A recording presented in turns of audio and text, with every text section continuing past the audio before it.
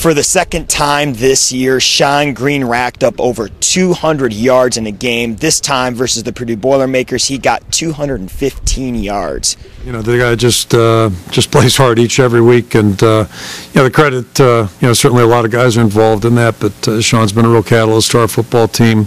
Uh, the determination and toughness that he plays with, and uh, it's just so impressive. And uh, again, I'm, I'm out into the, the national awards, but if, if you look at players uh, playing football, I can't imagine there are many guys playing that position any better than Shonn Greene. He's a real load. He's a you know a big, strong, powerful back who obviously has some speed too.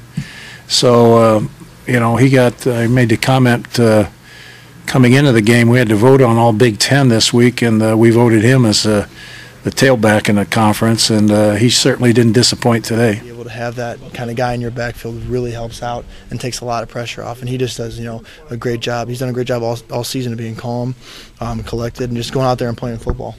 Uh, well, coming out during the first first few plays of the games, we did a good job, and then but uh, like the first half, they it got a little tough. You know, they kind of caught on what we were doing, but the offensive line stuck with it throughout the whole game, and we busted some big ones out there. So. Shonn Greene is the only back in the country to get over 100 yards in every single game in the season. Reporting from inside Kinnick Stadium, I'm Alex Salzma for Palestra.net, the College Network.